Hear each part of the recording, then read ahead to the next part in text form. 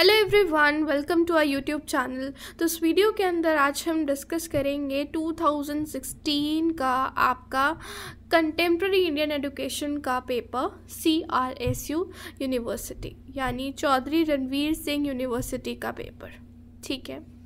मैं यहाँ पर आपके साथ ये पेपर शेयर इसलिए कर रही हूँ। यहाँ पे मैं आपको एक एक करके 2016, 17, 18, 19 सभी के पेपर आपके साथ शेयर करूँगी।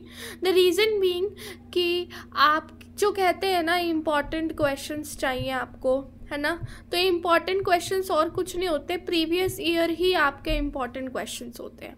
क्योंकि क्वेश्चंस क्या होते हैं? रिपीट होते हैं। जो जो भी आप टॉपिक देखेंगे ना आप अभी सारे ईयर्स को पेपर को एनालाइज करना आप देखेंगे कि सारे क्वेश्चन रिपीट हो रहे हैं। तो पहले मैं आपको यहाँ पैटर्न दिखाती हूँ जो कि मैंने आपको 2022 पैटर्न में बताया कि आपका फ़र्स्ट क्वेश्चन कंपलसरी होता है तो ये वो फ़र्स्ट क्वेश्चन है जो कि कंपलसरी क्वेश्चन है। और आप देख सकते हैं इसके अंदर चार पार्ट है। पहला पार्ट है कॉन्स्टिट्यूशन एक्ट रिलेटेड एडुकेशन, आपको इसके ऊपर शॉर्ट नोट लिखना है। दूसरा पार्ट है recommended national policy of education 1986 इसके बारे में।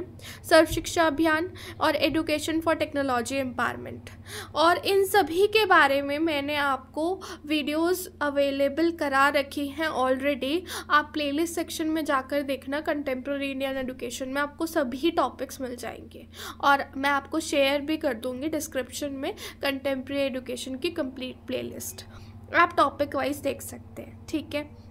अब मैं आपको बताती हूँ जो कंपलसरी क्वेश्चन होता है, ये होता है आपका चार नंबर का। फोर मार्क्स के क्वेश्चंस होते हैं, सारे के सारे, ठीक है? तो आपको इन क्वेश्चंस के आंसर जो है ना, वो एट शीट्स में भरने होते हैं। जैसे आपका फ़र्स्ट वाला है ना तो इसको आपको कैसे एट नहीं फोर शीट्स में भरना होता है। मतलब आप आगे पीछे मिला के फोर शीट्स भरनी है आपको, ठीक है? चार शीट्स के अंदर आपको इसका आंसर लिखना है और आप जब पॉइंट्स में बना के थोड़ा करेंगे ना, चार शीट आपको पता भी नहीं चलेगा कि कैसे फिल हो गई है।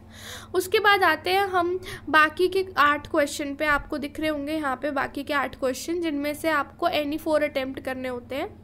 वैसे नॉर्मली आपको जैसे यूनिट वन में यहाँ दो क्वेश्चन है तो इनमें से कोई एक करना होता है। ऐसे यूनिट टू में से कोई एक यूनिट थ्री में से कोई और यूनिट फोर में से कोई एक। लेकिन अभी आपके पास क्या चॉइस है टू के अंदर? कि आप कोई भी चार क्वेश्चन इसमें से अटेम्प्ट कर सकते हो आपकी मर्ज़ी के। मान लीजिए कि मैं यूनिट वन और टू प्रिपेयर करके गई हूँ तो मैंने ये दोनों यहाँ से कर दिए और ये दोनों यहाँ से कर दिए। तो मेरे चार ख़त्म, मुझे थर्ड और फोर्थ को देखने तक की भी ज़रूरत नहीं है।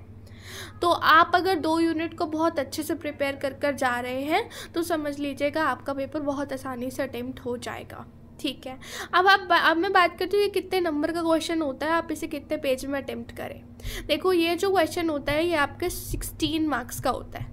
अब देखो, ये सेकेंड क्वेश्चन देखूँ तो मेरा इसमें एक ही पार्ट है और पूरा का पूरा सोलह नंबर का है। Discuss in detail education for marginalised and socially backward section of society इस पूरे टॉपिक पर मैंने वीडियो बनाई हुई है। आप जाके प्लेलिस्ट सेक्शन में ढूंढ सकते हो, उसको आपको मिल जाएगी। और इसके बारे में आप इतना कुछ बता सकते हैं और आपको कितने आठ पेज भरने हैं। सोलह नंबर का क्वेश्चन है, आठ पेज भरने आगे पीछे मिला के, ठीक है? आसानी से भर जाएँगे पॉइंट्स लगाना। पॉइंट्स लिखना पहले, फिर हर पॉइंट को एक्सप्लेन करना हेडिंग देना सुंदर सुंदर। आपका आराम से शीट्स कंप्लीटली फिल हो जाएँगी। हेडिंग पे ज़्यादा फोकस रखना अपना। हेडिंग्स याद करके चले जाना। अंदर का कंटेंट आप अपने आप बनाकर लिख सकते हो, ठीक है? अब मैं बात करती हूँ अगले की, जिसमें दो पार्ट है आर्टिकल फिफ्टीन और थर्टी के बारे में आपको समझाना है। तो आप चार पेजेस में फिफ्टीन आर्टिकल के बारे में बता दो और चार पेजेस में आप अपने थर्टी आर्टिकल के बारे में बता दो, आपको आसानी से नंबर पूरे सोलह मिल जाएँगे, ठीक है? आगे, आप कैसे यूनिट टू में दो क्वेश्चंस हैं उसमें आपको चॉइस है तो आप कोई भी मतलब चार क्वेश्चन अटेम्प्ट कर सकते हैं। ठीक है, आपकी मर्ज़ी के। तो ये था आपका 2016 का पेपर। आपको मैं एक बार अब यूनिट टू के क्वेश्चंस भी रीड करके दे देती हूँ। यूनिट टू में आपका फोर्थ क्वेश्चन है do critical appraisal of the following secondary education commission के बारे में लिखना है। इंडियन एजुकेशन कमीशन दोनों पर ही वीडियो अपलोडेड है। मैं फिर से बोल रही हूँ, मेरे पास सारी वीडियो अपलोडेड है। आप जाकर उस प्लेलिस्ट को देखेंगे तो आपको बहुत फ़ायदा मिलेगा। और सिर्फ़ मेरे से ही नहीं, आप कहीं से भी जाकर इस टॉपिक को पढ़ सकते हैं। आपको फ़ायदा मिलेगा। The point is previous year question को अच्छे से कर लीजिए। उसके बाद write a detail note on national curriculum framework 2005 ये तो बहुत इंपॉर्टेंट क्वेश्चन है। अगर आप इसको करके जाते हैं तो चांसेस बहुत ज़्यादा हैं इस क्वेश्चन के पेपर में आने के ठीक है।